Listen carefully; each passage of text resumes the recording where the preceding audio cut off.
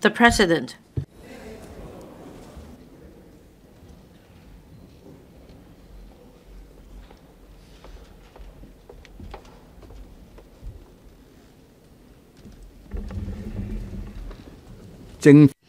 Government Bill.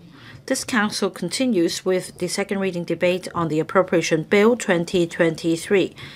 Members already spoke at the last meeting. I now call upon the relevant secretaries to speak first, and then I will call upon the Financial Secretary to reply. Secretary for Development. First of all, I thank members for their invaluable views expressed during the debate on the Appropriation Bill 2023 on matters relating to the Development Bureau, in particular on land development and the development of the construction industry. The chief executive has recently emphasized that we must, we must catch up with time, results, and prospects. We must look to the future for land creation and development. There must be adequate land for policies to be formulated to improve livelihood and work environment and to develop industries where we enjoy an advantage so as to enhance our competitiveness. According to the 2030 Plus Towards a Planning Vision and Strategy published in October 2021, we estimate that over the 30-year period between 2019 and 2048, the overall demand for land is about 6,200 hectares. We need to increase land supply to meet this demand. Among others, 3,000 hectares will come from the Northern Metropolis, and 1,000 hectares will come from Kau Yi Chau Artificial Islands. These two projects, therefore, will play a pivotal role in land supply. As we earlier indicated, the supply of spade-ready sites will reach 3,280 hectares in the coming 10 years. And during the same period of time, the Northern Metropolis and Kau Yi Chau Artificial Islands will contribute about half of the above. Land creation requires multiple prongs. We'll consider various land sources and different initiatives. For example, there are about 1,600 hectares of land in the new territories, over 1,000 hectares of which, and 60% of them being brownfield sites, will gradually be developed into high-rise residential buildings and other uses to enhance land use efficiency. In the coming five years, we will resume about 500 hectares of private land. However, these are sites with existing users. Replanning and development will have an impact on landowners and users. Based on our experience and what we have, we still need to proactively make new land through strategic reclamation to further bolster the government's active role in land supply. Some people have questioned the need for both the Northern Metropolis and Kau Yi Chau Artificial Islands, given the local population is on the decline. I would like to make three points. First, when compiling population projections, the Census and Statistics Department has prepared a higher population projection scenario for reference. With social and economic development, the population in Hong Kong may grow to a level closer to the higher scenario. The number of households, which affects housing demand, is also expected to rise as families become smaller. We must be prepared and not focus on a single projection scenario when it comes to land supply. Point number two, we must not base our planning on population and household projections. We must also plan with a vision to improve people's living space, for homes to be bigger and more comfortable so as to meet the public's aspiration for a more spacious living environment. And an aging population will mean a higher demand for living space and design. For example, flats will have to be bigger to be elderly-friendly. More outdoor and indoor facilities will have to be provided for the elderly to age in place. In addition, social progress means a higher demand for more and better public services, such as healthcare and welfare. We will have to raise the supply targets for various GIC and public open space sites in order to enhance the quality of living. Point number three, at the same time, we're facing the challenge of aging buildings. Despite the Urban Renewal Authority's effort to expedite the renewal of old districts and private developers' efforts in redevelopment projects, we're still unable to catch up with the rate of building deterioration. It is imminent that we speed up urban renewal. Creating new land can help us meet public demand by providing decanting space to support the chain of movements, thereby creating a favorable condition for rehabilitation. In other words, the government can drive policy innovation with sufficient land supply. Of course, Apart from supplying homes, the Northern Metropolis and Yi Chau artificial islands are vital in promoting economic development and integrating into the country's development plan. Their strengths lie in their respective locations. The Northern Metropolis is situated in Hong Kong North. It is close to Shenzhen's urban core and and innovative industrial base where the growth impetus is, is conveniently located near seven land boundary control points. Yi Islands are placed in a strategic spot. Eastwards, they are connected to Kowloon West. To the south, they can be connected to Central Core Business District. With a 20-minute journey, they are connected to the northern metropolis, Shanghai and Shenzhen. And eastward, uh, westwards, they are connected to the Hong Kong International Airport and Hong Kong Zhuhai Macau Bridge, which provide connectivity to the mainland. The journey time is similar the KY, the Kau Yi Chau artificial islands have the capacity to be the third CBD and an, an extension of the harbour metropolis. If we miss out, Hong Kong and our next generation will lose this golden opportunity. The government is proceeding in full speed these two mega projects. Let me explain the details. The various land development projects in the northern metropolis are proceeding at different stages. The NDA projects in Tung North, Fanling North, Hung Shui Kiu Ha Tsuen, and Yuen Long South are under construction stage. The San Tin Technopole and New Territories North New Town project are under planning stage. We will soon commence consultation on the development proposal and planning layout of the San Tin Technopole, the flagship I&T project in the region. We are making preparations for the establishment of the Northern Metropolis Coordination Office to provide steer and coordination. I urge members to support the establishment proposal to create new posts. The government plans to commence the statutory procedures for the EIA of the artificial islands and the connecting strategic roads within this year. This will be followed by a detailed design and site investigation in 2024.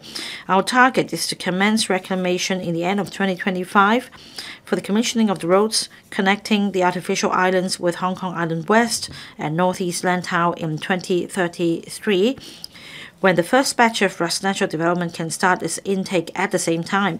We will also strive for the commissioning of the railway line before major intake. Once the detailed design stage begins for these mega projects, we will have a better idea how to face the development and prepare comprehensive cost estimates according to the development timetable and draw up financing proposals in a timely manner. As the government makes an all-out effort to boost economic growth, the construct construction industry will enter a golden era with abundant opportunities. There will be a keen demand for manpower to support various public works and infrastructural projects. We are making reference to the construction manpower forecast released by the Construction Industry Council in February this year to assess how to address manpower needs of the construction sector through a multi-pronged strategy. As indicated earlier, our target is to complete the assessment and present a holistic strategy for addressing manpower needs of the sector by middle 2023. Relevant work is in progress according to the target time frame, and we will make an announcement in due course. Subject to passage of the budget, we will use the $170 million allocation to launch two pilot schemes as soon as possible in collaboration with the Vocational Training Council, Construction Industry Council, and other institutions to provide on-the-job training allowance for safety officers and other construction personnel. The schemes not only enhance the education and career ladder and promote youth upward mobility, but also help expand the source of manpower supply for training up construction talents. The two schemes are expected to benefit about 1,300 trainees. We will continue to join hands with the Construction Industry Council to step up the training of skilled workers in the construction industry with a $2.2 billion allocation granted last year. We'll also promote to the industry the wider adoption of innovation technology through the Construction Innovation Technology Fund. We will also collaborate with the industry and institutions to step up recruitment and training of construction talents. We're happy to note that members have generally expressed support for the land development projects to be undertaken by the government. We'll continue to engage the council and industry stakeholders so that we make a concerted effort to improve people's livelihood and promote economic development in Hong Kong. I so submit. Secretary for Housing. President, I thank members for offering their views on housing during the appropriation bills debate. I will now give a brief reply on these views. Many members mentioned their concern over light public housing. If I may reiterate, light public housing is a large-scale social project with very significant social function and value. It will give practical assistance to those with the most pressing needs. The government has given holistic consideration to various aspects, in designing and planning for individual projects, we will take into account numerous factors, including the land use characteristics, the local transportation network, developments in the vicinity, and cost effectiveness. Suitable supporting facilities will be provided in a pragmatic manner so as to meet the needs of residents in their daily life. On cost effectiveness, the project team is continuously reviewing its design and has achieved cost reduction of a billion dollars from the initial design. Building modules under the MIC method can be removed and reused. In terms of locational choices, the eight proposed sites are located all over the territories to meet residents' needs. We will take forward the projects and also do publicity work so that people in need will know about the project which is an affordable, desirable, and readily available short-term housing option for them. On the supply of public housing units, the government has identified sufficient land for providing some 360,000 public housing units in the next 10 years, meeting the supply target of 301,000 public housing units in the same 10-year period. Some members are concerned about the construction time and workflow. The Hong Kong Housing Authority, or the Hong Kong HA, is constructing public housing at full steam by taking forward preliminary preparation during the land creation process. These preparatory work include drafting outline zoning plans, conducting detailed design, technical assessments, ground investigation, and tender invitation, so that construction works may begin swiftly after the handover of land to the HA. Also, we will adopt measures at the planning, design, and work stage for early delivery of some public housing projects in phases. We will also more widely adopt MIC building method and design and build procurement model in suitable projects. On subdivided units, in the short run, we will continue to support families living in inadequate housing by vigorously promoting the development of transitional housing as a short-term option for people in need. As at the end of March this year, some 7,000 such units have commenced operation. We expect another 14,000 transitional housing units to come online in the next two years. Besides, we will continue to take forward tenancy control on subdivided units together with the Rating and Valuation Department so as to better protect SDU tenants' rights. As at the end of March this year, we have disbursed some $2.91 billion in cash allowance to some 86,800 eligible general public rental housing applicants through the cash allowance trial scheme. Some members hoped that the trial scheme can be regularized. On that, we will conduct a review at an appropriate time. We believe that with the continuous supply of transitional housing and the light public housing in the coming few years, as well as an abundant supply of conventional public rental housing in the next 10 years, we will be able to change the ecosystem of the SDU rental market and drastically reduce the demand for SDUs with expensive rent and poor environment. There were also views that the government should timely adjust the income limit of public rental housing applicants the HA conducts a yearly review on the income and assets limits of PRH applicants to align them with the then socio-economic situation. We think the existing mechanism has provided an objective basis for setting an income limit which can effectively identify low-income earners eligible for PRH. Besides, in response to voices in society that the HA should review its policy on subsidized sale flags, the HA swiftly endorsed the revised eligibility criteria last week that PRH tenants applying to purchase subsidized sale flags as Green Form applicants should not be owners of domestic property in Hong Kong, and that fixed term licensees will no longer be eligible for purchasing subsidized sales flags as Green Form applicants. The new arrangements will apply to the new home ownership scheme flags to be sold later this year. Many members voiced their concerns over the abuse of public housing resources. We fully agree that public housing is a valuable resource in society, which must be used effectively and allocated reasonably to people with genuine need. The HA has always adopted a multi pronged approach in tackling abuse of public housing, including preventive patrol, investigation, publicity, and education. Between April 2022 and January this year, 1,700 flags were recovered due to abuse and breach of tenancy or housing policy by tenants, exceeding the past three years' average of 1,300 per year.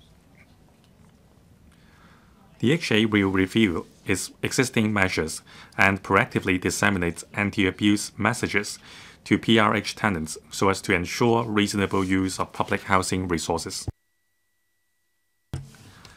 On private residential property markets, we have considered a range of factors, including the speed and magnitude of property prices movements, number of transactions of residential flats, future supply, economic condition and outlook, and the overall market sentiment. Given the present situation, we don't think it is necessary to adjust the demand-side management measures of residential properties. We will continue to closely monitor the residential property market and the relevant indicators so as to take timely measures in response to market changes. The government will remain steadfast in resolving the housing issue. Our determination is ironclad. President, I so submit, I implore members to support the Appropriation Bill 2023. Thank you. Secretary for Transport and Logistics. President, I'm deeply grateful to members for their views on the transport and logistics matters under the Appropriation Bill 2023. Here is my brief reply. The government has always promoted the infrastructure-led and capacity-building planning principles in taking forward transport infrastructure projects. This is to unleash the potential of the new development areas along key transport infrastructure. We will focus on traffic bottlenecks and improving our transport network to give people more commuting options and cut down journey time. We will also act with forward thinking by supporting long term development, such as the Northern Metropolis and the artificial islands of Kar and meet the transport and logistics needs arising from integration. The government plans to take forward the three strategic railways and three major roads in the preliminary recommendations of the strategic studies on railways and major roads beyond 2030. The public consultation was concluded in late March. We are studying the comments received from members and the public in detail and assessing the preliminary engineering feasibility to enhance the proposal. Our goal is to draw up a blueprint for the future development of Hong Kong's key transport infrastructure in the fourth quarter this year. On cross-boundary railways, the government will continue to work through the task force for Hong Kong-Shenzhen cooperation on cross-boundary railway infrastructure in taking forward various projects. On this front, the second stage study of the Hong Kong-Shenzhen Western Rail Link, Hung Shui Kiu-Qianhai, is underway to be completed in the middle of next year. Meanwhile, we are actively following up on the work on the Northern Link Spur Line. We plan to reach an agreement with the mainland authorities on the Shenzhen section of the spur line and start the detailed planning and design within next year. To ensure swift launch of the various railway projects related to the Northern Metropolis, we propose to set up a dedicated Northern Metropolis Railways office under the Highways Department. The proposal will go to the establishment subcommittee under the Finance Committee of this Council soon. I hope members will support the proposal. Two days ago, the government announced the scheme on northbound travel for Hong Kong vehicles. Application will open on June 1st for eligible Hong Kong private cars. Starting from July 1st, approved Hong Kong private cars will be allowed to travel between Hong Kong and Guangdong via the Hong Kong-Zhuhai-Macau Bridge. The scheme makes it easier for Hong Kong residents to get behind the wheel for short-term visits to Guangdong for business, family, or travel purposes. This is a key step in fostering the economic integration and interactions between people in the Greater Bay Area to cope with the extra workload from applications for cross-boundary vehicle licenses and the scheme, the Transport Department has streamlined the application procedure, lined up officers to work overtime, deployed staff members, and hired more workers. This is to make sure swift processing of applications for closed road permits. The TD will continue to make good use of electronic services and study measures to offer greater convenience, such as looking into the feasibility of mutual recognition of driving licenses for commercial vehicles from Guangdong, Hong Kong, and Macau based on the mutual recognition in place for driving licenses of non-commercial vehicles from the three places. The government moves with the times by monitoring the latest developments of public transport systems in the mainland and across the globe. We look at the systems, applications, and cost effectiveness of various models in exploring their viability in Hong Kong. Members have commented on the public transport infrastructure in Kowloon East, particularly in the Kai Tak development area.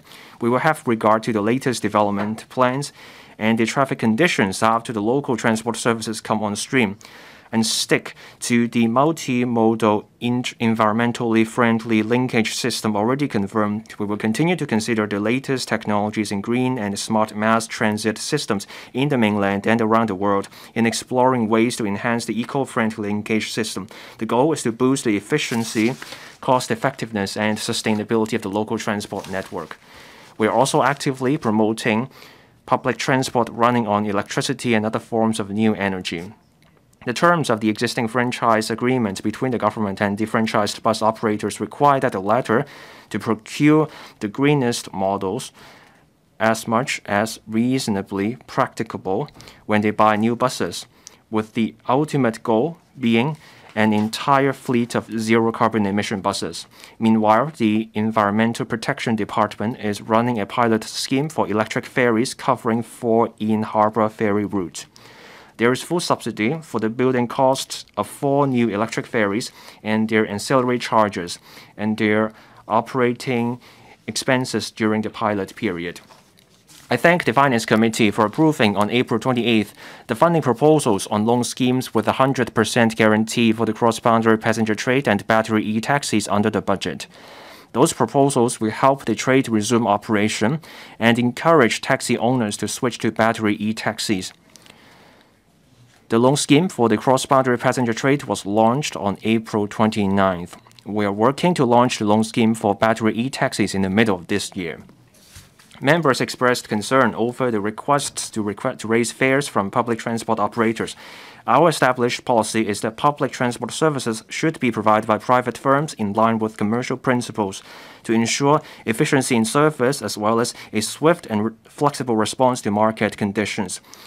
We will review such requests with due diligence under the established mechanism by considering the operator's financial position, business prospect, public acceptance, and affordability in acting as the gatekeeper.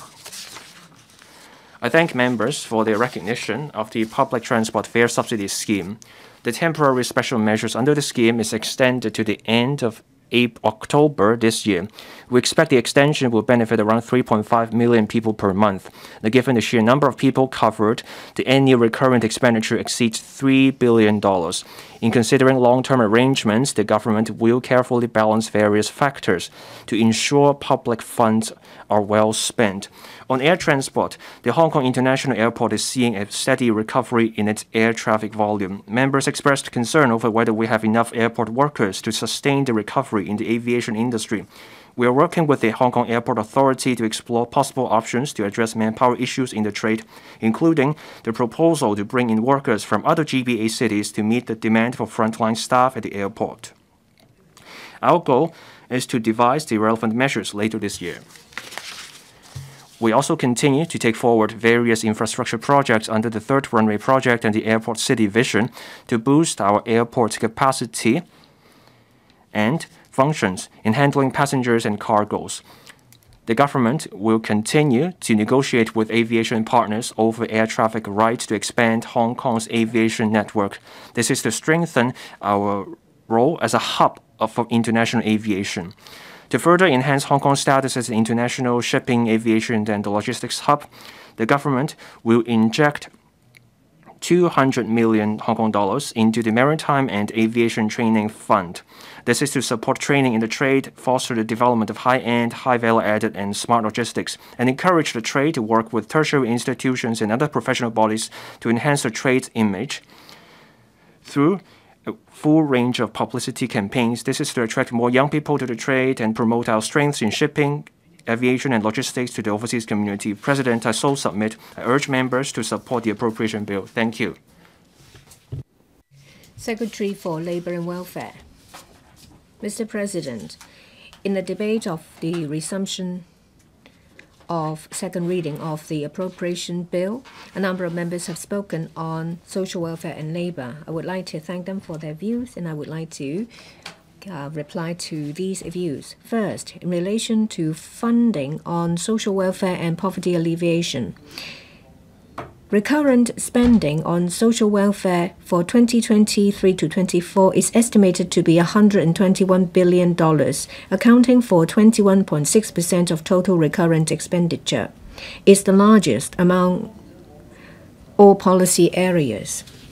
I would like to um, address the points raised by Mr. Tik Chi Yuen. The, the administration has said a number of times in different platforms that about the importance of spending reduction program in 2022 and 23.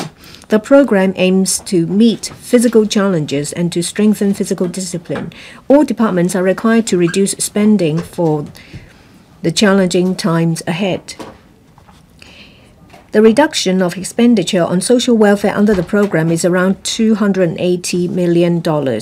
We have considered it very carefully and have made special arrangements so that cash assistance in CSSA and Social Security allowance, grants and allowances for foster families, sheltered workshops, and integrated vocational rehabilitation services centers, as well as a short term food assistance, will not be affected. These special arrangements ensure that the impact of the reduction program on grassroots will be kept to a minimum. The fact is, if you look at the government's commitment on social welfare, you see that the amount actually has increased. In 2022 to 23, which is under the reduction program, expenditure on welfare increased by about $9 billion 9% compared to the year before, that is 21 to 22. The estimates of 2023 and 24 increases further to about, to about $15 billion, which, and compared to the reduction of $300 million 15 billion is about uh, 300 times. So yes, we have reduced, we have cut down one tree in the forest, but we have planted 50 more.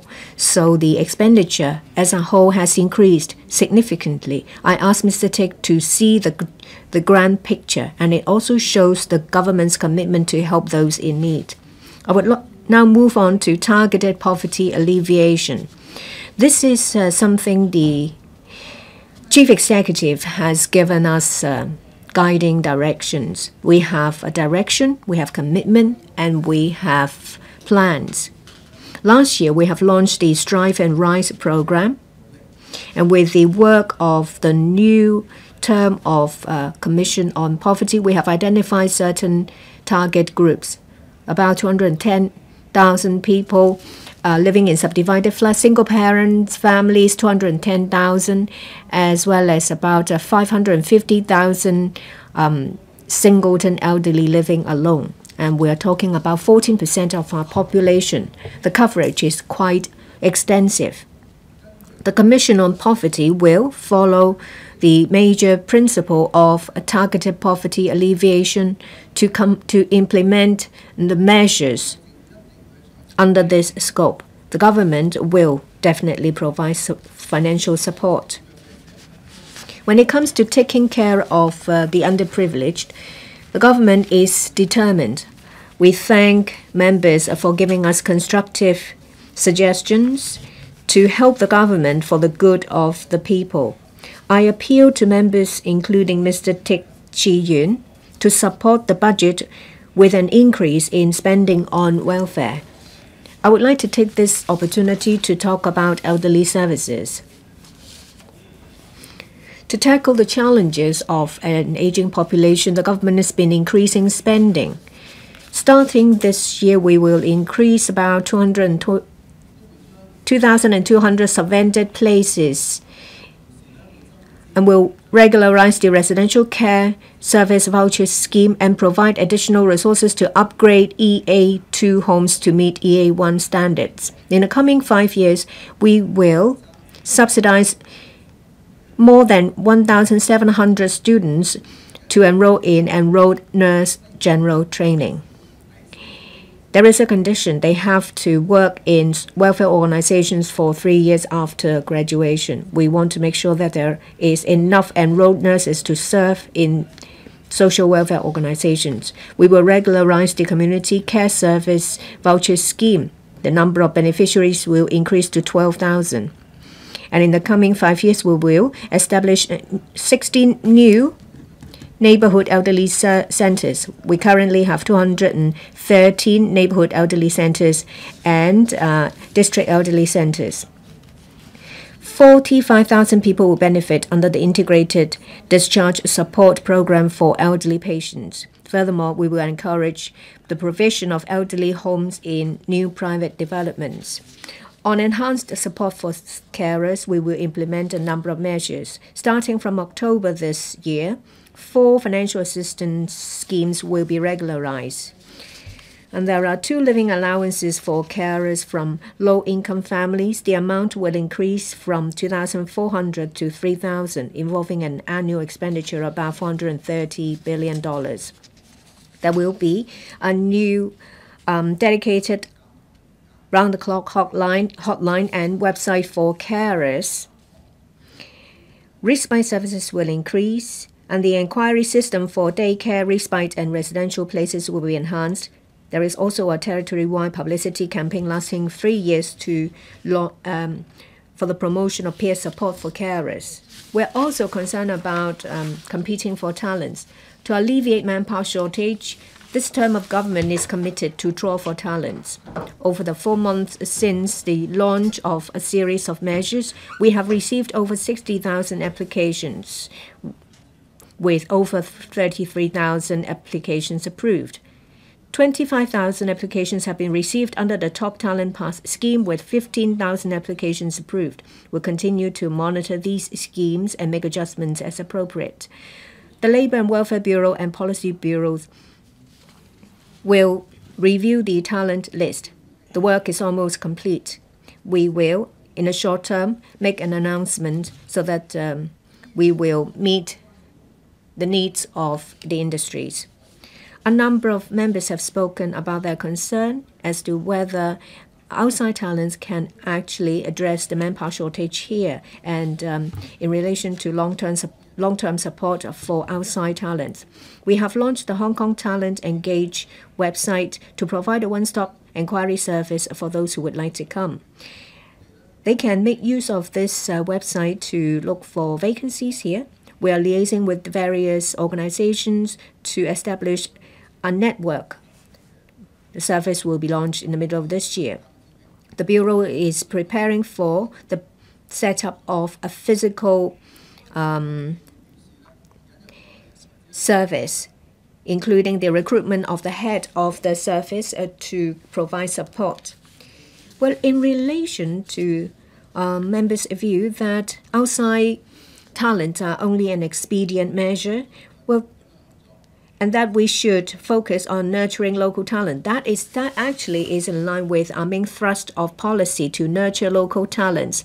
We will work with the Employees Retraining Board to enhance skills of uh, local labor, and we will launch a new round of manpower proje projection uh, to uh, take stock of the various demands and um, skills required by different industries. We're starting from the 1st of May 2025 as the statutory as, as the chief executive has announced the offsetting mechanism of, of the mandatory provident fund will be abolished the government will go to the finance committee to ask for funding support for the subsidy scheme to provide subsidy of more than $33 billion over 25 years to employees. We have engaged a consultant to look at the designated savings account scheme to map out the way forward. I so submit and I ask members to support the bill. Thank you. Secretary for Financial Services and Treasury, Chairman, President, First of all, I'd like to thank members for their valuable feedback to the FSTB during the 2023 Appropriation Bill debate. I would like to provide some responses regarding Hong Kong's role as a financial center, the new capital investment entrant scheme, and the opportunities for professional services in Hong Kong's finance industry due to GBA development, development of green tech, green finance, introduction of redomiciliation, and nurturing of financial services talent.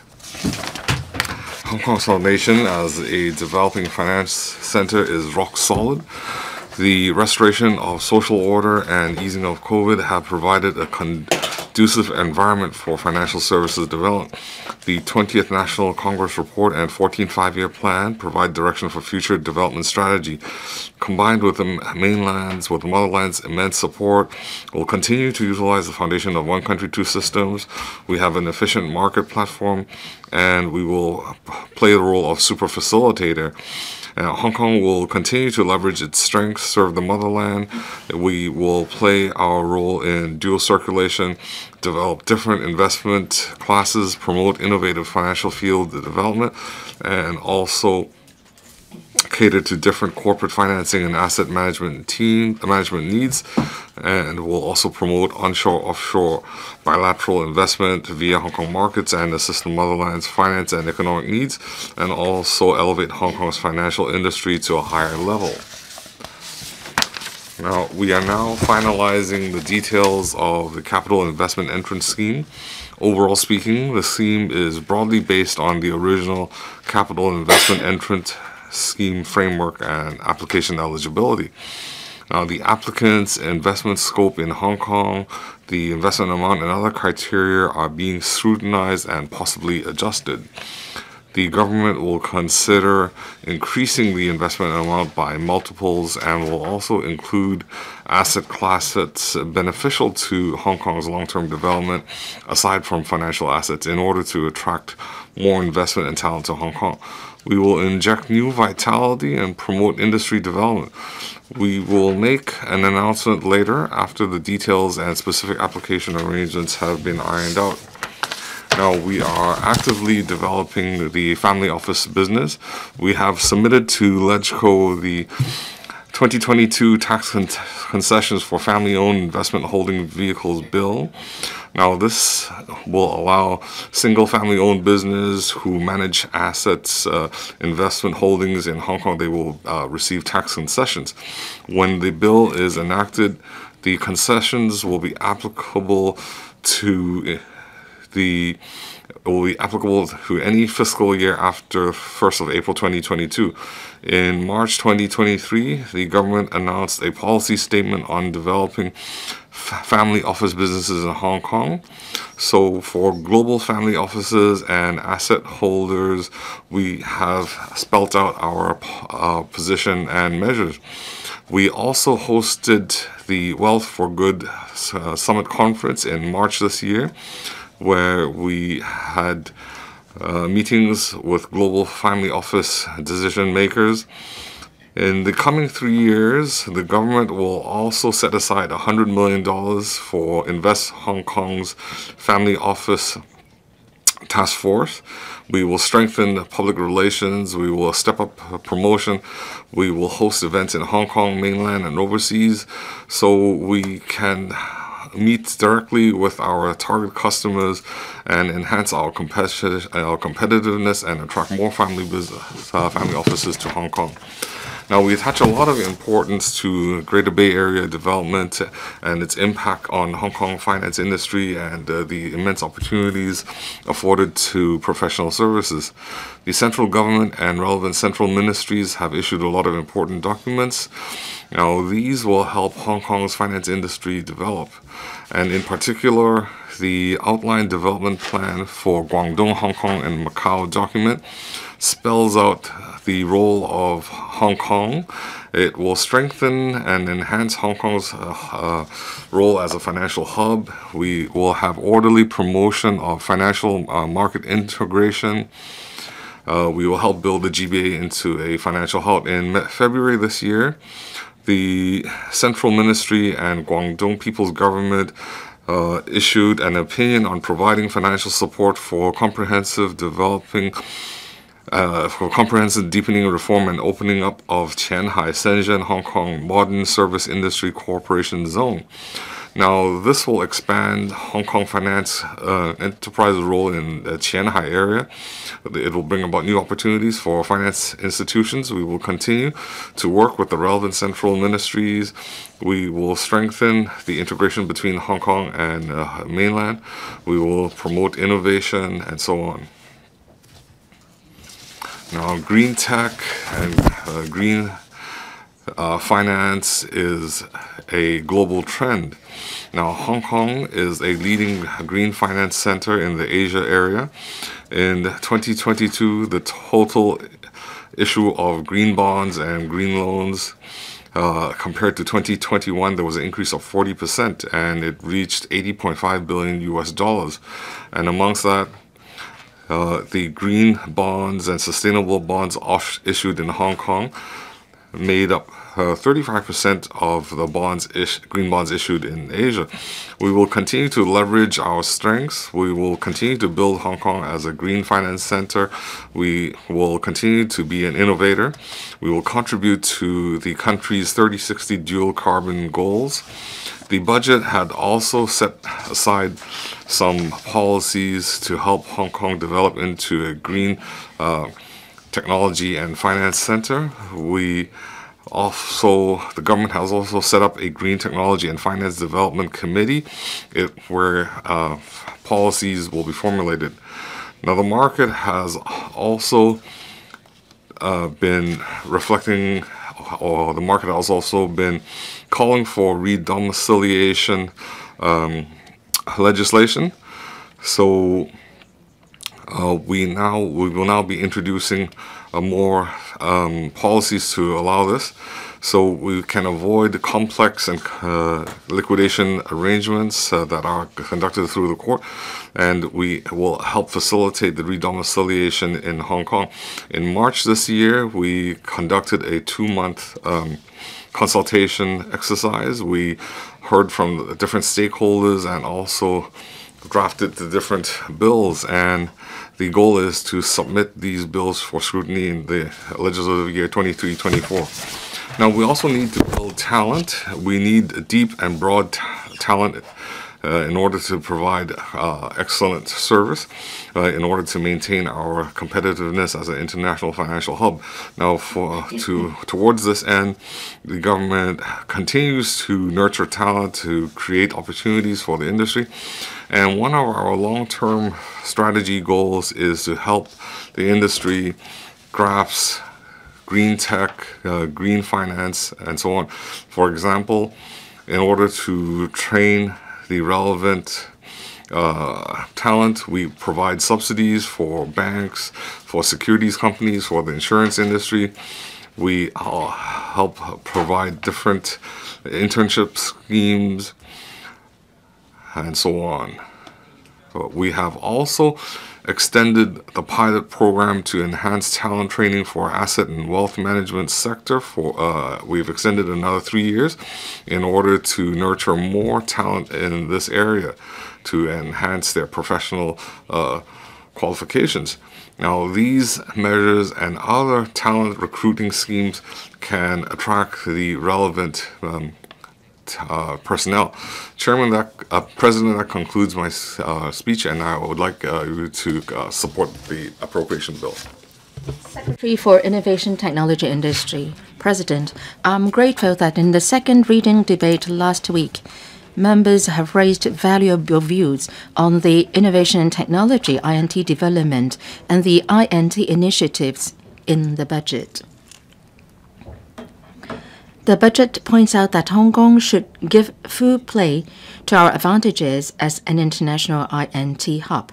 We will continue to adopt a result oriented approach and strive to integrate with the national strategy, especially positioning given by the national 14th five year plan of Hong Kong to be an INT hub. And we should serve Hong Kong people well and live up to the expectations of our country of our country to further realize the vision for Hong Kong to be turned into an international INT hub. We released the Hong Kong INT development blueprint last year. This year's budget also corresponds to the development directions and key strategies in the blueprint blueprint in the following four areas. I will respond to members' concerns under this framework. First, developing digital infrastructure, and promoting digital transformation. We will press ahead with the development of a digital economy. On the development of digital infrastructure, we will conduct a feasibility study on the development of an AI supercomputing center, which is expected to provide adequate computing infrastructure for promoting the development of industries. The study will be completed within this financial year. Some members suggested that we should first set up a mini computing center as a pilot and then expand the scale and also setting up a data industrial park in Hong Kong in the northern metropolis. And some members suggested that we should leverage on AI to enhance government service efficiency. We, we will carefully study into these proposals. In addition, to we will work through um, the technology voucher scheme to help SMEs in uh, digital transformation. We will allocate $500 million, to Cyberport to launch the Digital Transformation Support Pilot Program, whereby subsidies will be provided on a one-on-one -on -one matching basis to assist SMEs to expedite digitalization. To promote data sharing, I noticed that some members have suggested that Hong Kong should set up a central data bureau in Hong Kong to oversee development of digital economy and society and coordinate uh, the standardization work and improving information flow among departments. We have an open mind towards that proposal. We are also pressing ahead with building the consented data exchange gateway to promote um, the exchange of data among the different departments of personal data with individuals authorization.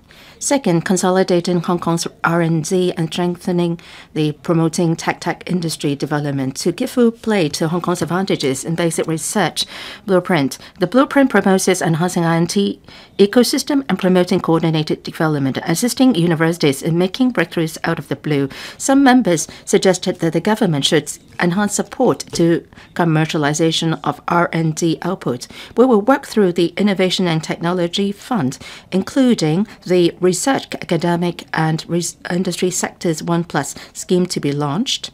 And local universities possess many original R&D results with great potential for commercialization.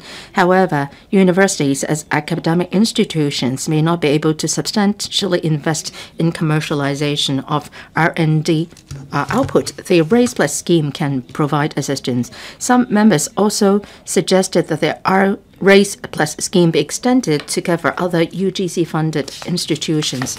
We will consider that.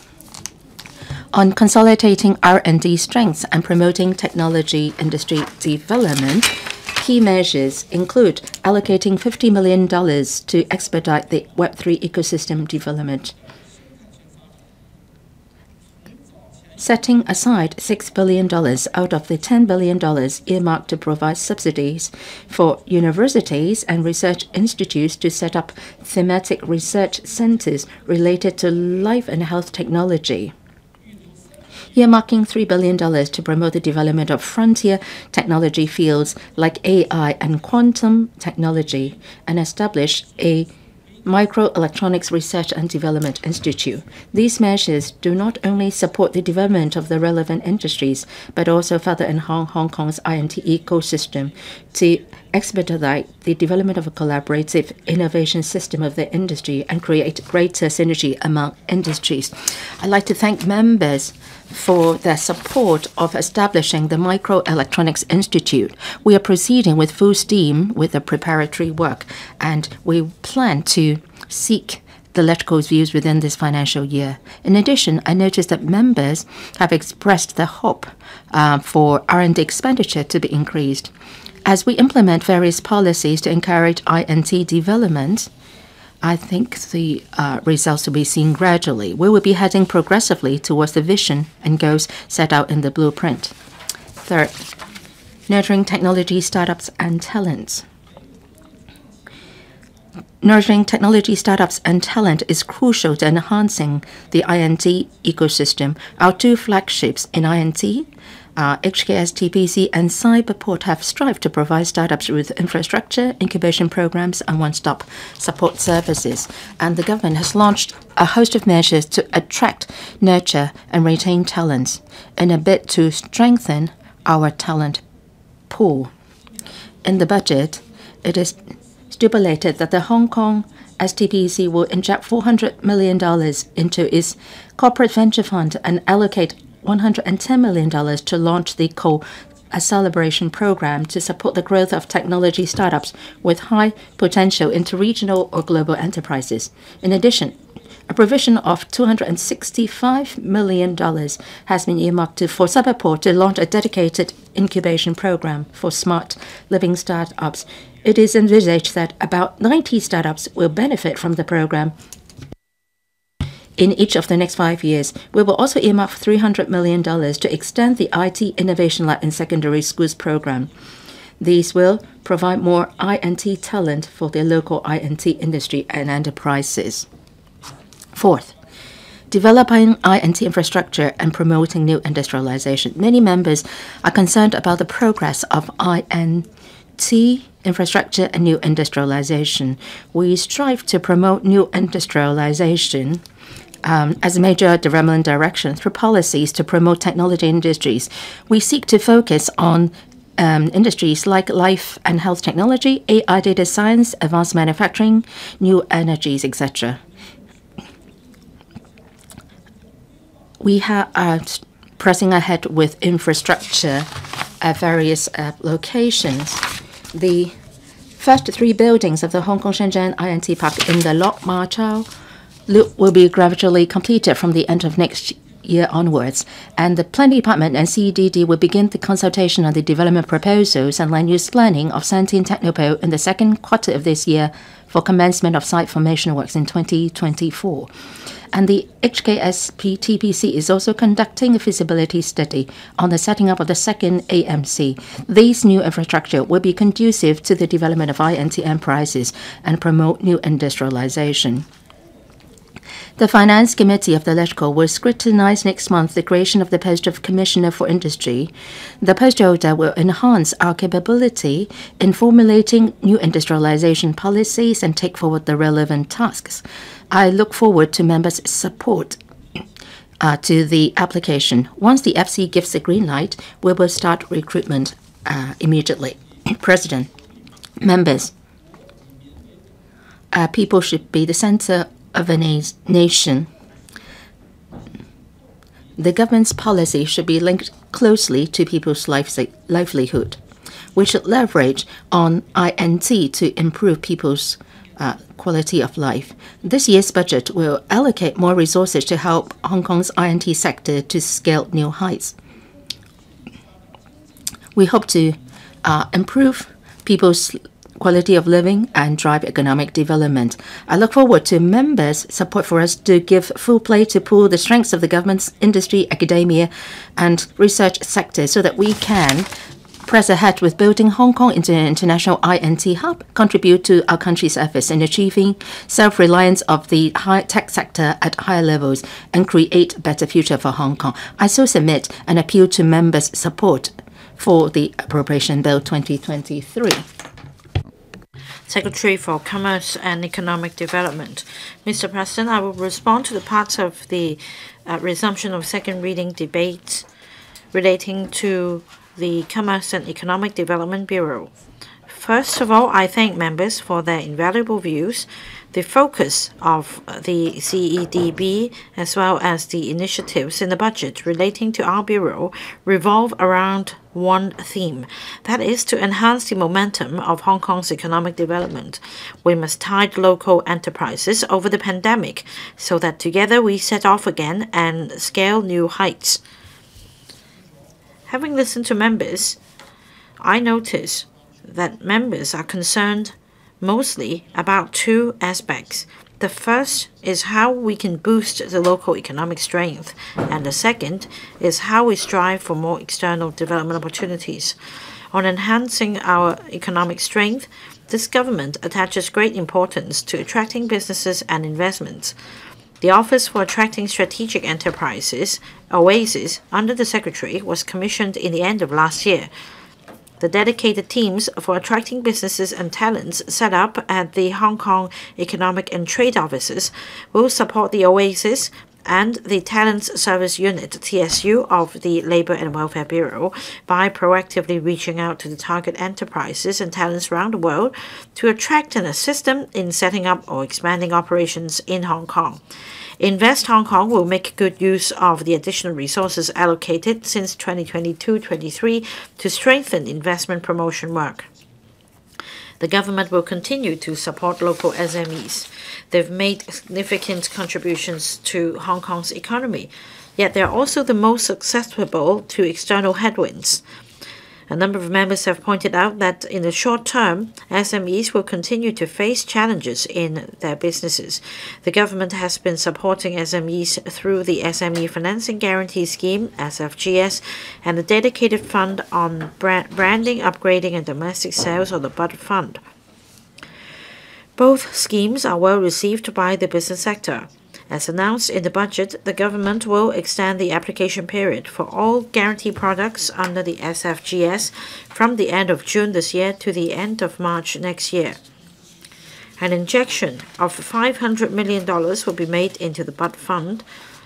BUD Easy will be launched to expedite the vetting of applications involving a funding amount of 100,000 dollars or below as a response to members and the sector's aspirations.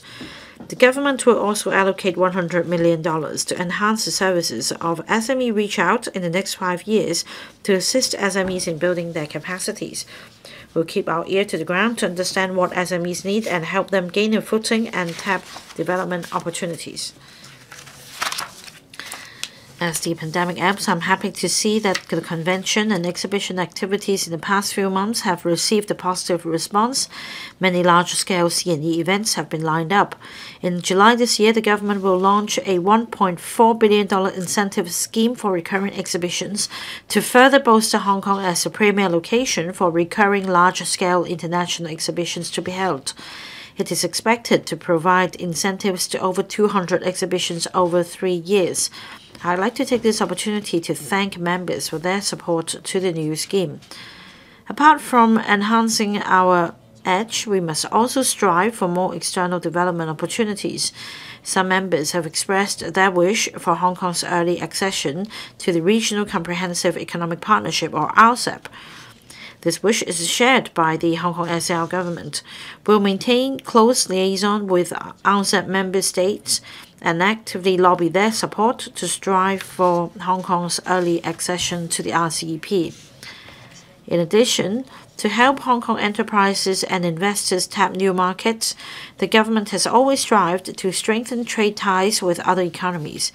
To dovetail with the country's 14th five-year plan and leverage on the advantage of having the country's support and being connected with the world, we will actively seek to forge trade, free trade agreements and investment promotion protection agreements with more economies, in particular emerging economies, so that goods and services from Hong Kong can be treated more favorably in the global market, hence promoting Hong Kong's economic development in the long term.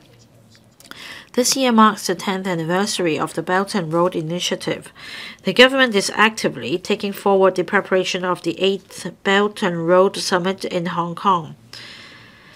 We will also provide additional funding totaling $550 million to the Hong Kong Trade Development Council in the next five years, starting from this year, to help enterprises seize opportunities arising from the Belt and Road Initiative, tap new markets, and step up global promotional efforts.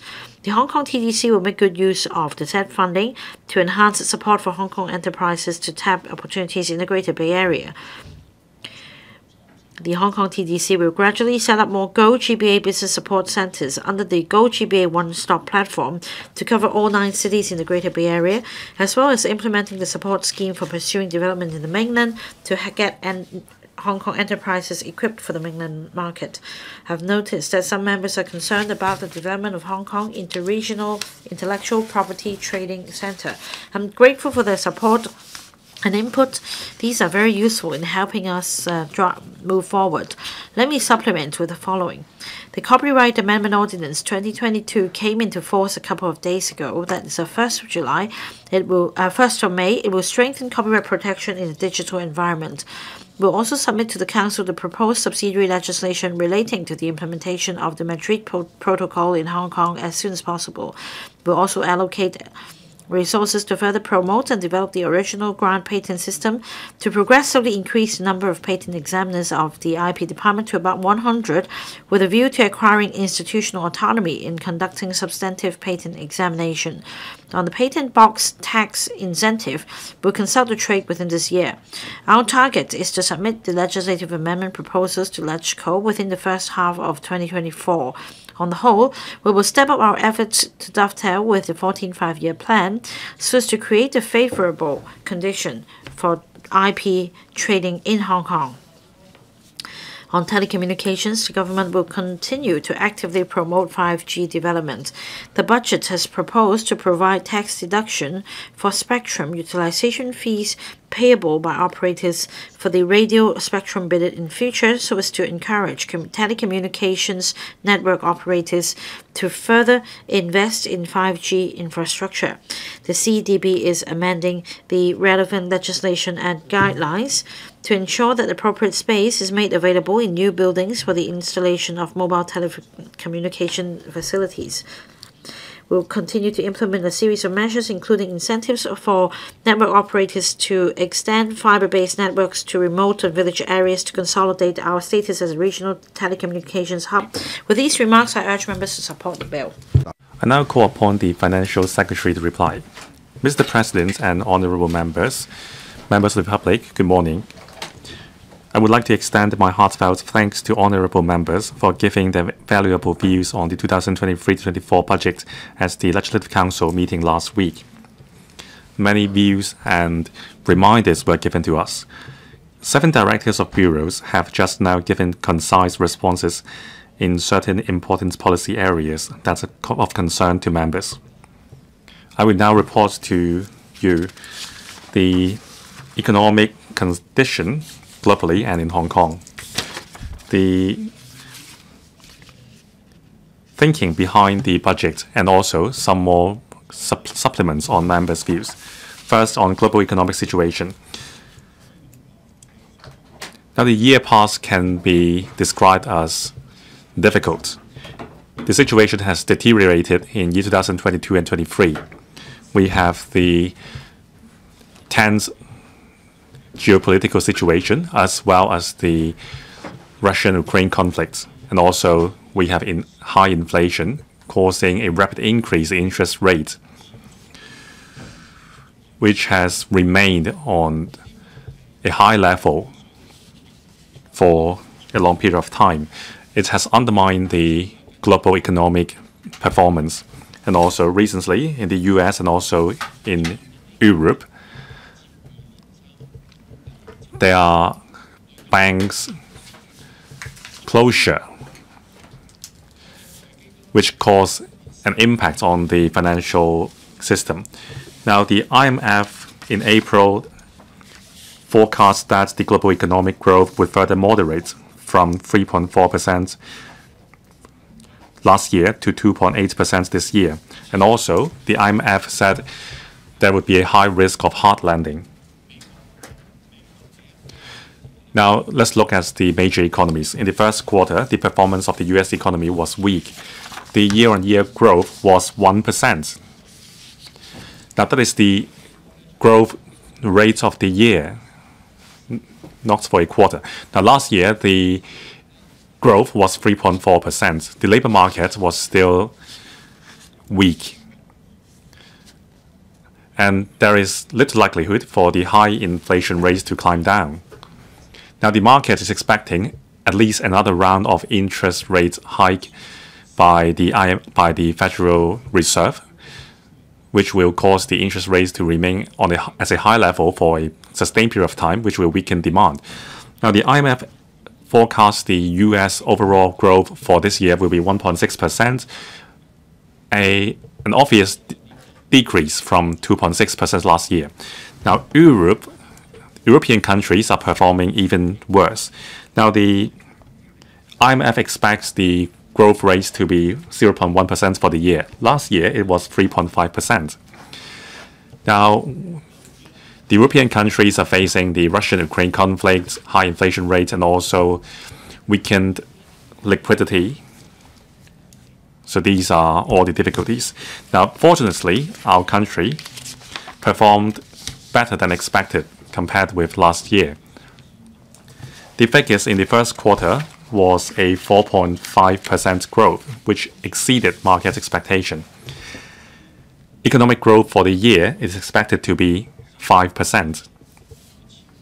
Now, the market is even more optimistic than that. Some expect the growth to be 6%.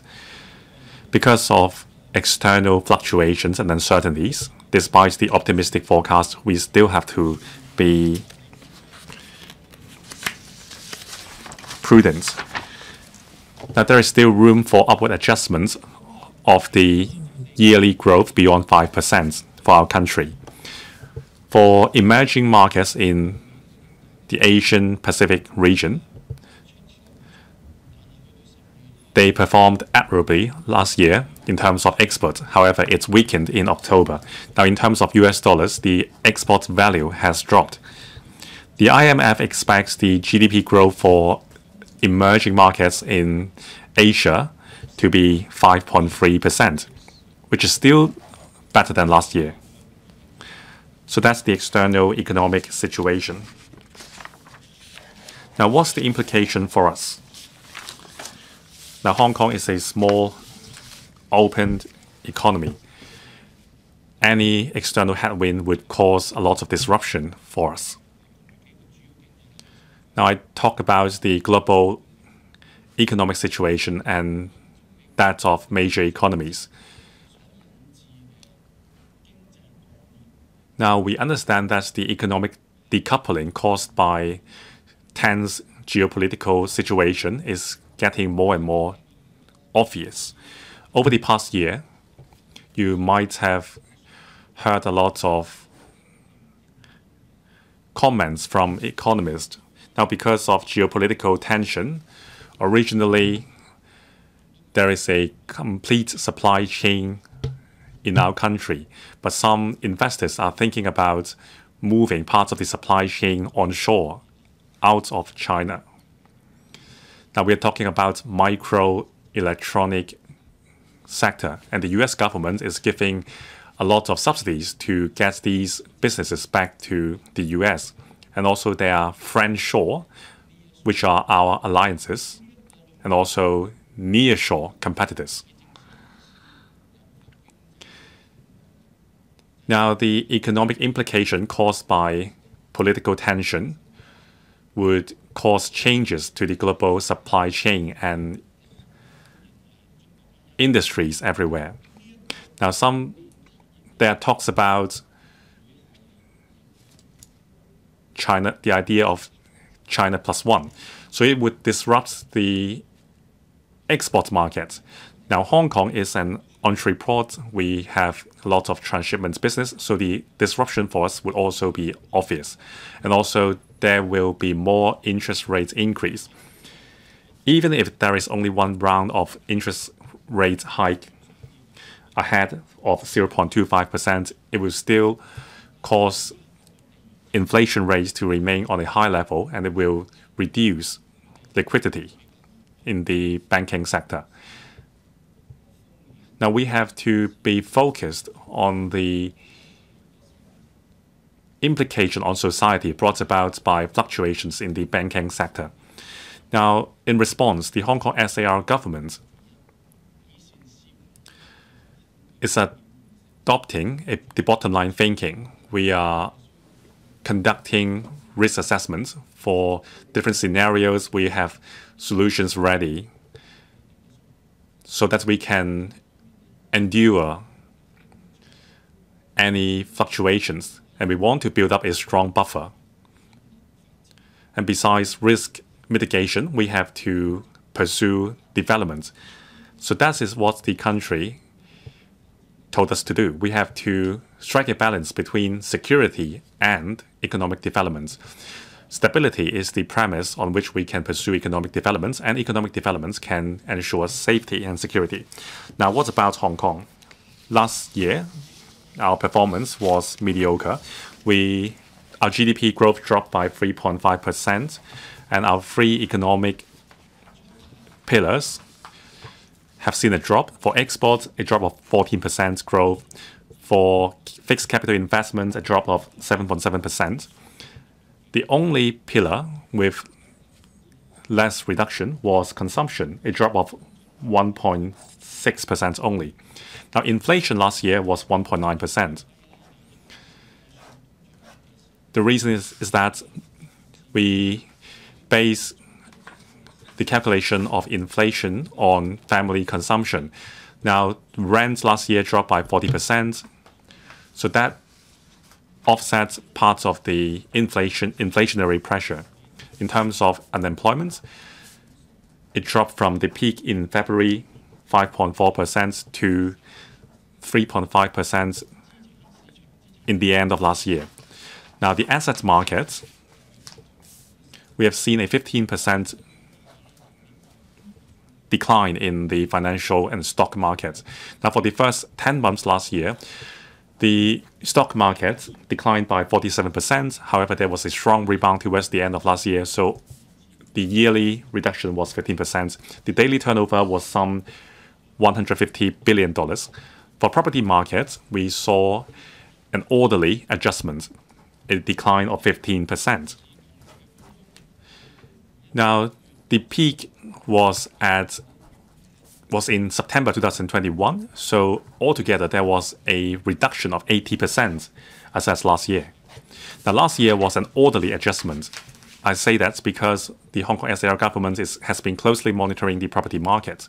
When the property market declined, there was a huge drop, a plunge in the transaction volume. There were only 45,050 transactions last year. In 2021, there were more than 75,000 transactions.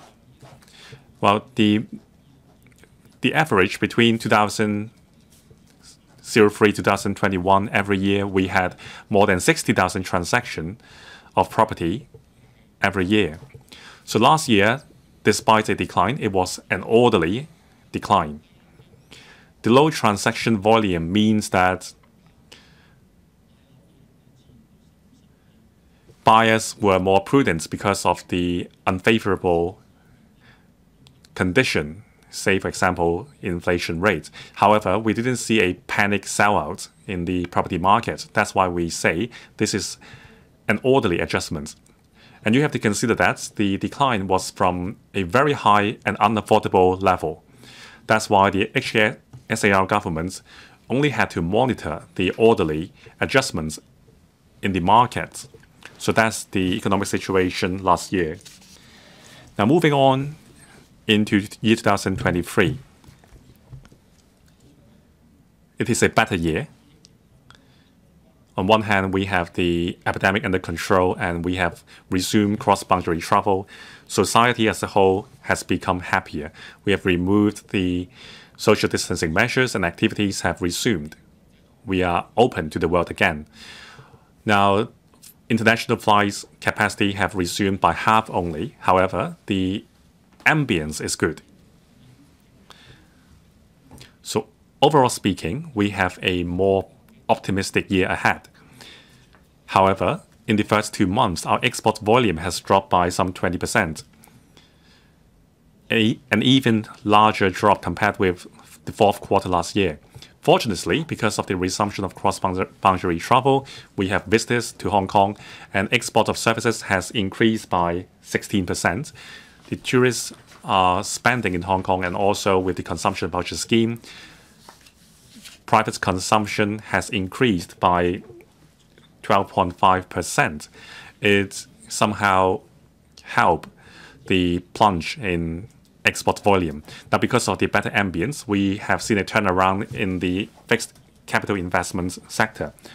From 7.7%, it has increased to it has increased by 5.8%. Now, inflation rate hasn't soared. It is still 1.9%.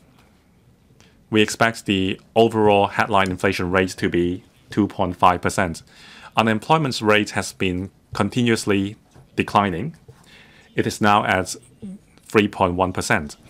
For the asset market, In the first quarter this year, we have seen a mild rebound in property prices. It has rebounded by 5% in terms of price and transaction volume.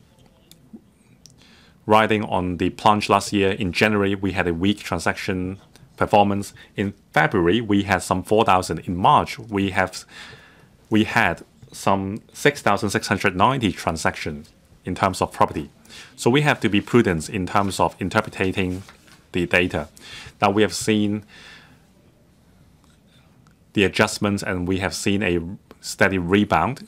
We are entering a phase of stability. So that's the situation for the property markets. In terms of stock, for the first three months, we have seen a 3% increase and then a reduction in April. Compared with the same period last year, the situation the level is around the same. The turnover is about some $127 billion. So we can say that it is a stable condition. So that's how our economy compared with the first quarter last year in Hong Kong. So besides figure, we also pay attention to real income of our of the people. Now in the first quarter, real income has increased by some 4.9%. So that's the present situation. So to summarize,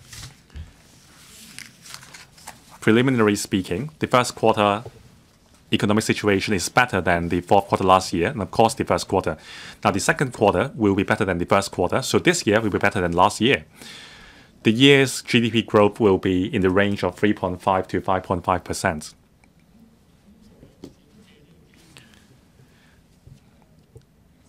So allow me to use this opportunity to explain something to the public.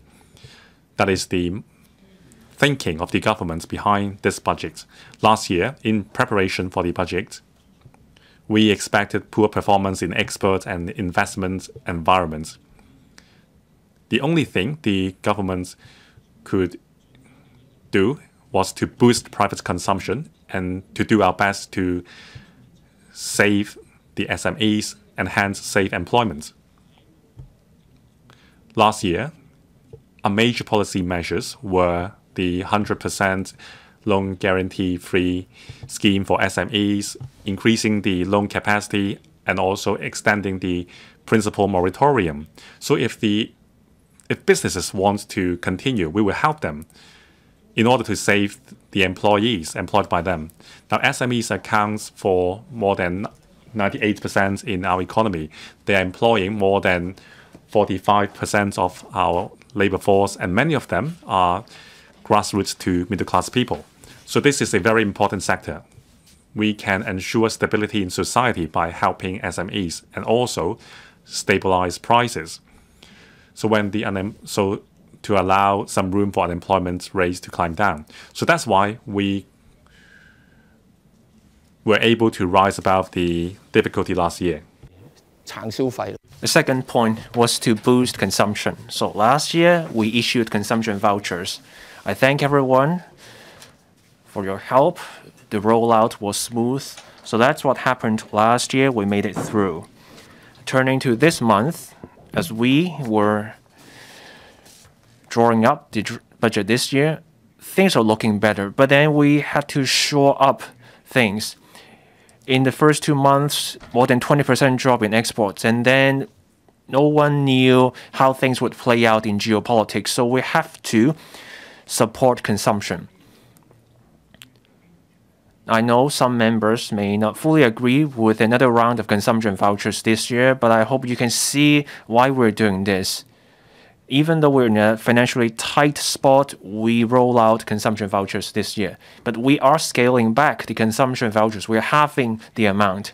In the early stage of an economic recovery, people and SMEs are still under immense pressure. So there were tax refunds, rate concessions last year. This year we continue the measures, but as you can see, and I hope you can understand that we're scaling back some of these concessions this year. That's how we can strike a balance. So that's for the economy. So for our economy, we cannot just look at what happened.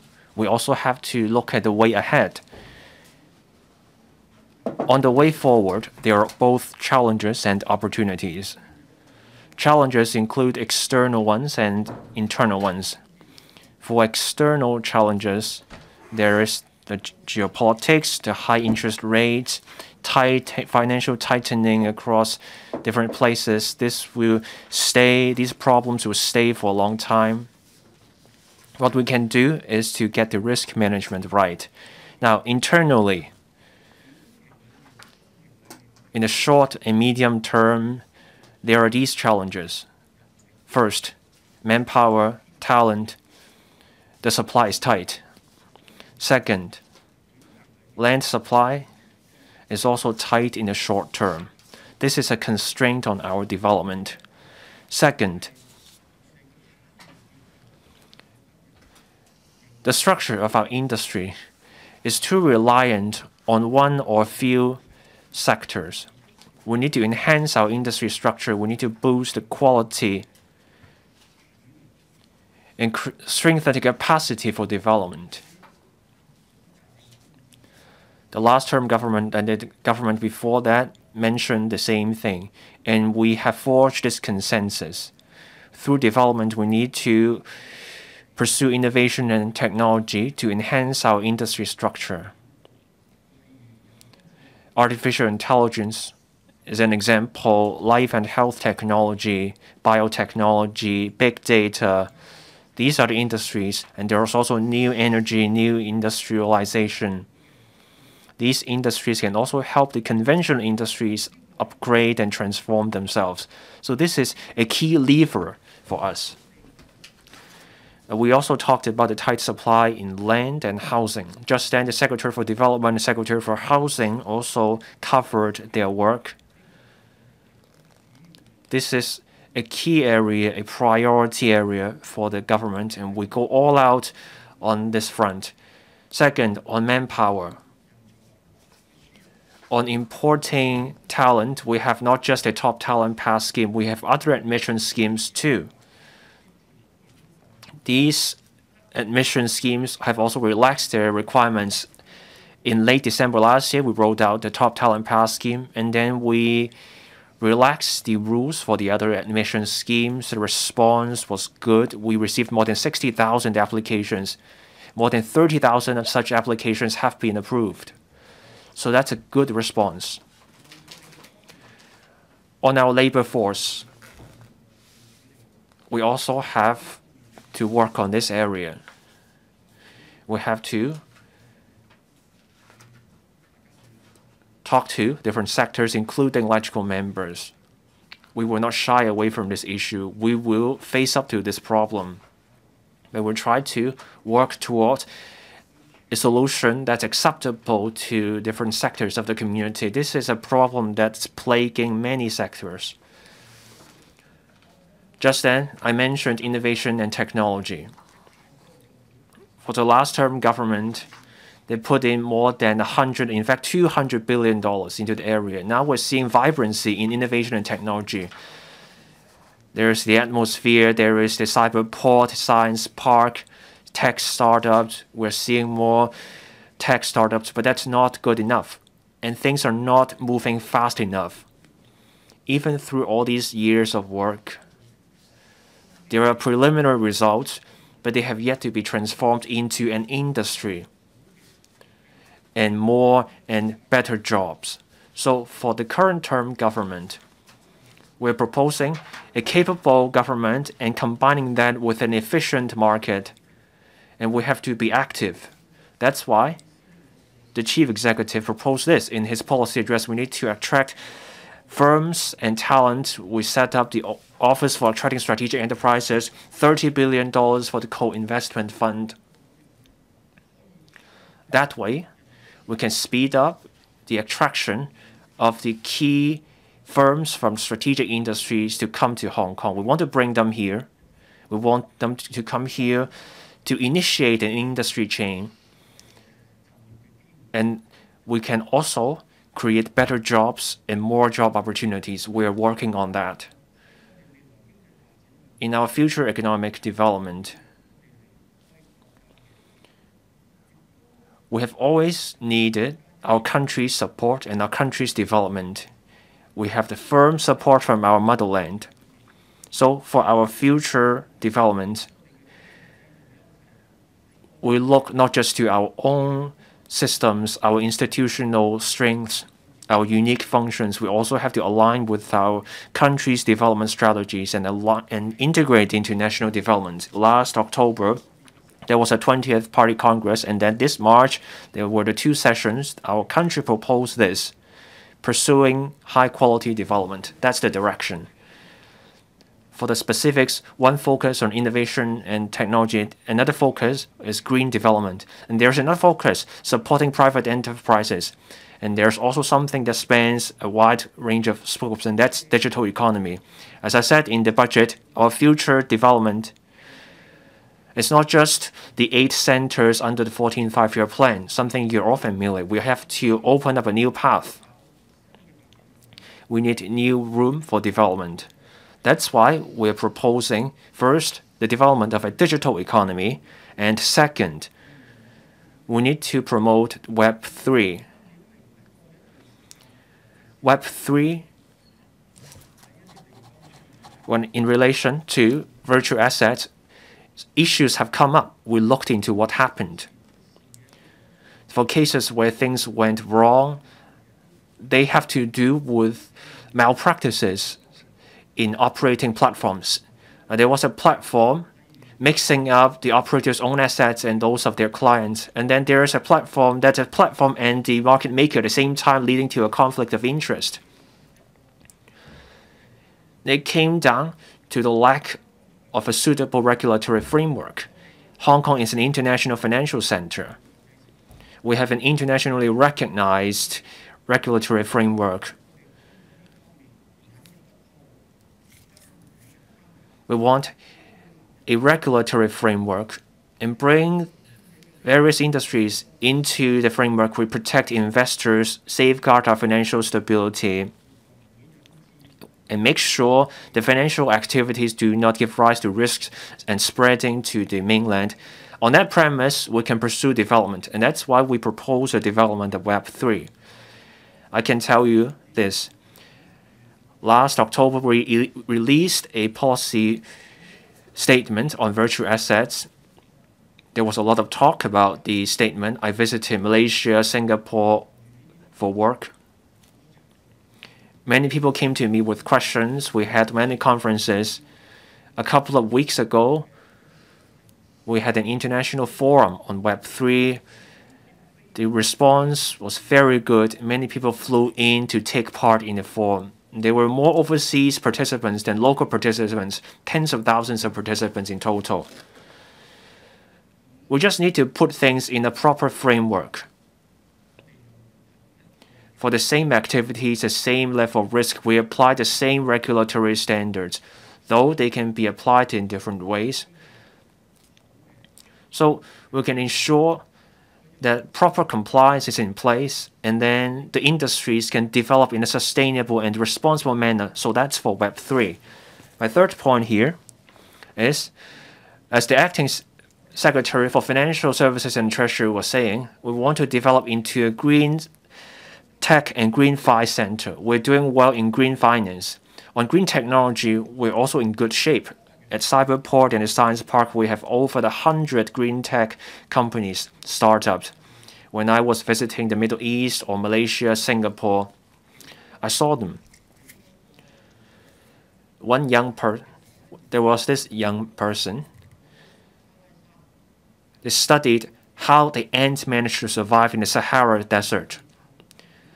And then the researchers found something special about the exterior of the ants, so they used the nanotechnology to develop new coating. The coating is applied to the external walls of buildings, and that can help lower the indoor temperature, so they don't need that much air conditioning, and that saves on energy bills. There was a re recent visit to the science park. I was there. Young people found a new way to conserve corals. That technology has been exported too. We are part of the Greater Bay Area. As you know, Shenzhen is doing well in technological development. They want to be a green tech, green finance center. We can develop alongside with Shenzhen and achieve synergy, and then we can foster development in each other's areas. So that's another area we work on in the future. So for the short-term and medium-term economic development, that's our plan. I've listened to members' comment. Some members expressed concern on our financial health. We are financially robust. We have more than $122 billion in deficit. That's more than 60 billion than expected. There are three reasons for that. First, poor market performance, so a drop by $30 billion in stamp duty revenue. And because of the poor market sentiment, there was a drop in the land sale revenue by $40 billion or so. But then last year, we issued more bonds by $31 billion. So that explains the deficit when you look at our public finances, you should look beyond just the finances for a year or two. As I said in the budget, we are a small economy, we're an open economy. When the major economies experience a huge change and they say they sneeze and we experience the shock. We should look at whether we're balancing the books in an entire economic cycle and whether we meet the basic laws requirements. And we are confident we are doing that. In 2023 to 24, that is the upcoming year, after the bond issuances, we will have a $50 billion deficit, and that's a drop from before. If we see better than expected tax revenues, then we will see an even smaller deficit. So when can we start seeing surplus even without bond issuances? That's 2025 to 26, two years from now. But looking at these is not good enough. You may be wondering, just exactly what's the percentage of government expenditure in GDP? This year, 2022 or 23, that's more than 28% government expenditure to GDP. Because of the employment support scheme, fighting COVID, that's more than $140 billion in expenses. But then in the next few years, we will see a shrinking expenditure. That way, the government expenditure to GDP ratio will return to 22% five years from now. Now, what about our revenue? This year, we're doing poorly in terms of revenue because of less land sales, a drop in the stamp duty revenue. So this year, the revenue will make up roughly 21.2% of our GDP. That's 21.4% or so. But five years from now, it will be 23.4% going up.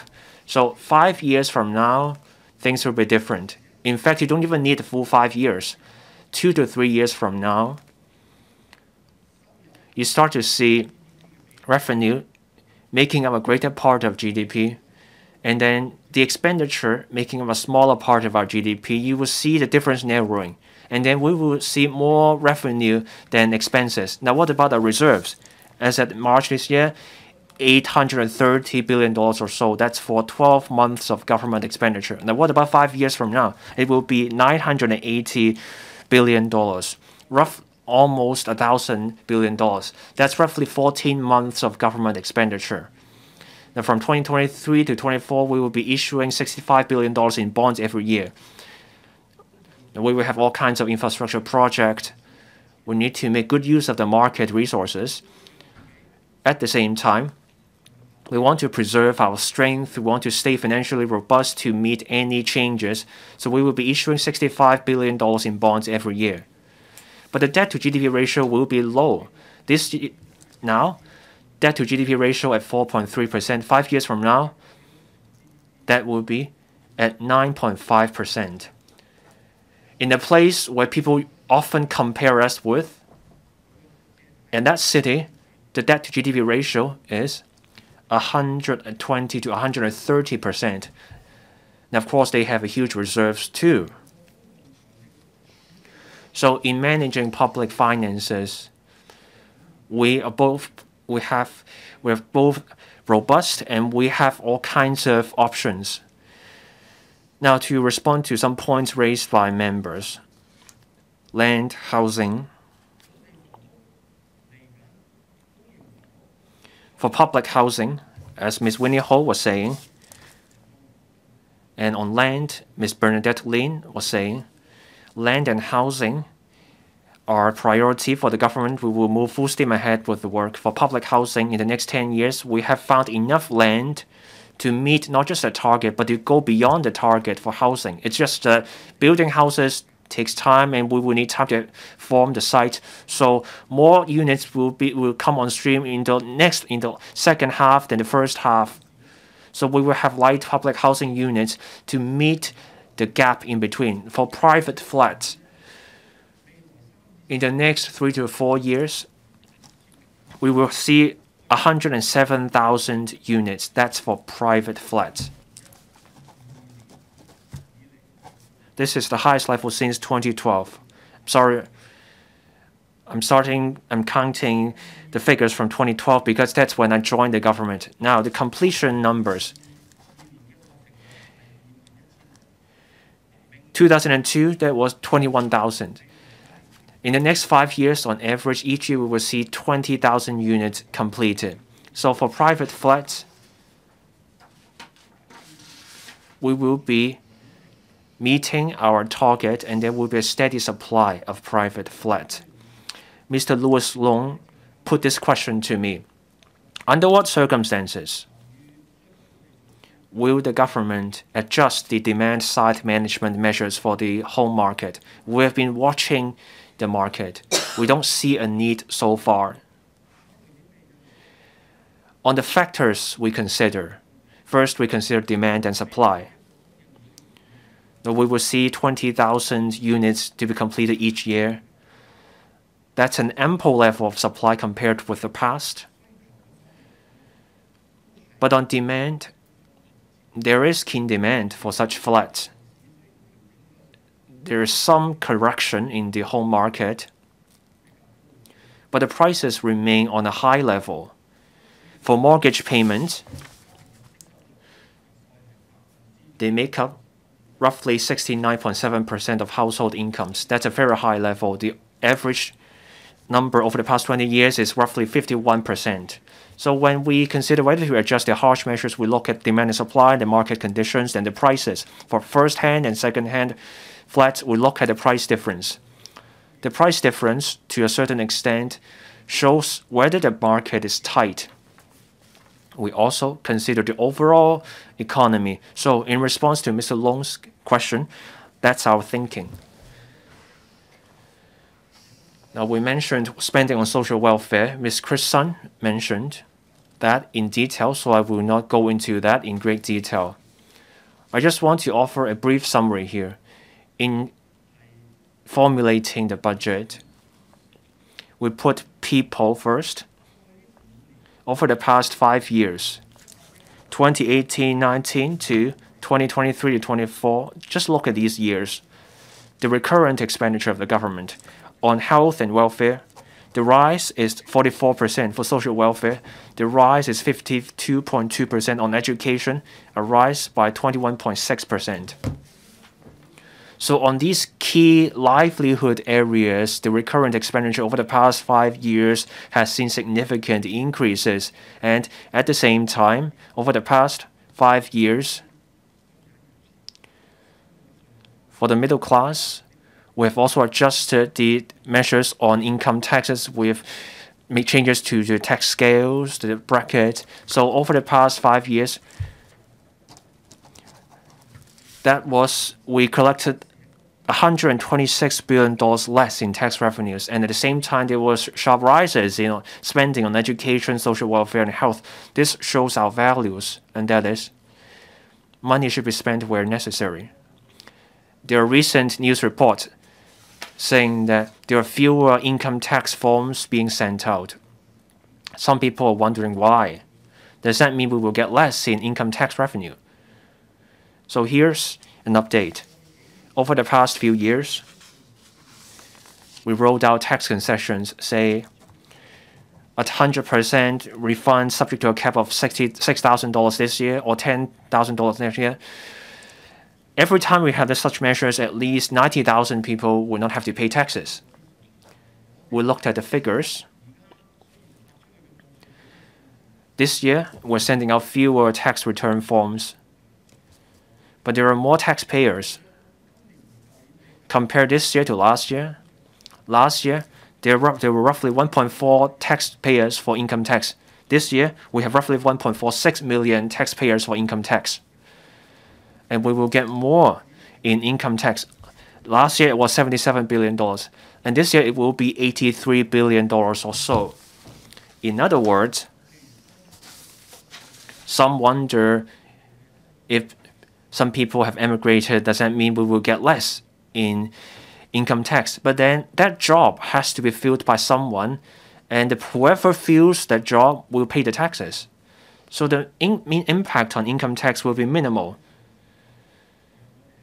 And let's bear in mind those figures. We will reflect on the figures. With more income tax revenue, more taxpayers, where do they come from? There are fewer tax forms going out, but more taxpayers. So this means COVID has hit the medium to low-income classes particularly hard, especially the grassroots. So for those who were just made it into the tax bracket are exempted. That's what happened. President, this budget is the first budget of this term government. This is also a budget in a critical year for Hong Kong. We have a clear goal. We want to provide the support people need, and we also focus on the economy pursuing development. To drive Hong Kong's economy to go on a fast track of development, with the firm support from our country, with patriots administering Hong Kong fully in place, and we see stability in the community. We will continue to combine a capable government and an efficient market. We will leverage Hong Kong's institu institutional strength and distinctive functions aligned with national development strategies, integrate into national development, and go full steam ahead in promoting our economic development. President, we also attach importance to this point that we need to make sure that the fruits of our economic development can be shared widely in the community. We want to translate economic development into a better quality of life for people so that people get a sense of gain and happiness. On this regard, we welcome more comments and let's work together. As I said just then, that's for the goals of the budget 2023 to 24. I urge members to support the appropriation bill 2023 so that we can promptly implement the measures under the budget. Thank you. I now put the question to you that the Appropriation Bill 2023 be read the second time. Will those in favour please raise their hands? Those against, please raise their hands. I think the question is agreed by majority of members present. I declare the motion passed. Appropriation Bill 2023. This council now becomes committee of the whole council to consider the appropriation